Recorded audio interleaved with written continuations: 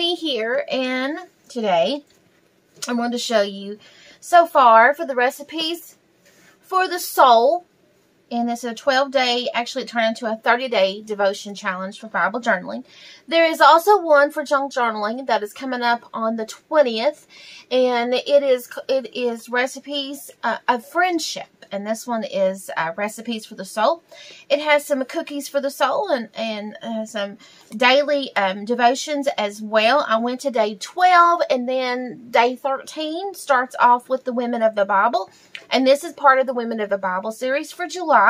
And I thought this was super cute because um, you know it's a pre-made little um, journal that I got at Walmart. And then I just designed the kit to um, kind of alter this little book. In today's activity, because there were several activities, here's a little mason jar shaker. That if you remember, if, if you see my videos, um, there is a playlist as well. So all that information is located in the East Coast Bible Journaling Facebook group. It is also located on That's Just Penny Printable blogspot.com. It's actually That's Just Penny Printables blogspot.com. It also can be found in my Facebook groups and all of the links will be down below the video in the description box. Okay? Please give this video a thumbs up. Please, please. Okay, thank you very much if you like the video. Um, but here are the second activity. So we're excited.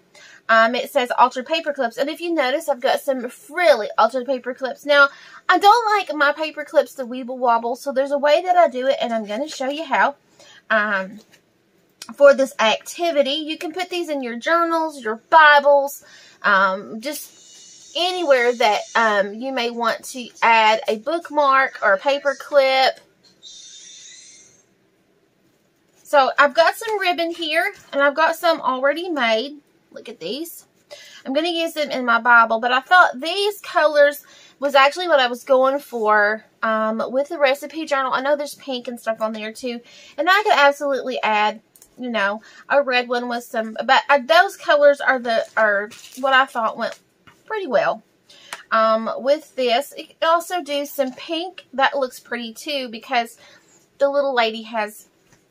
Now, if you're wondering about the printables for the kit, you can find that link in the East Coast Bible Journaling group, and also um, you can also find it um, later on in, on my blog as well. So I've got some different types of ribbons.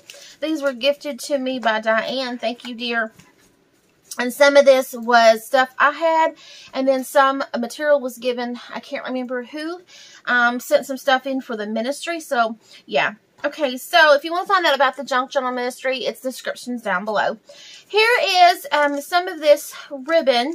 This was got, I think it's got some sort of backing on it. And sometimes you can get ribbon, especially during the holidays, that's kind of a little bit stiffer.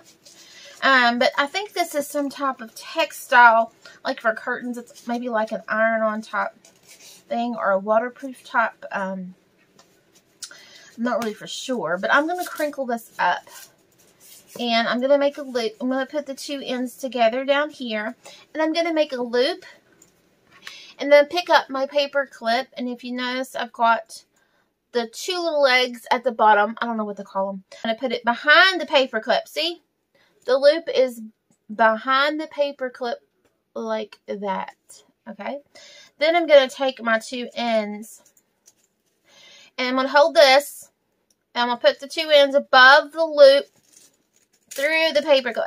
And that makes, pull real tight, and that makes it where the if it sticks on, you know, some of them, you know how you used to have it, and they would just weeble wobble all over the place, and then I'd have to straighten them and all that, and it just kind of got aggravating in my Bible. So I was always adjusting the paper clips.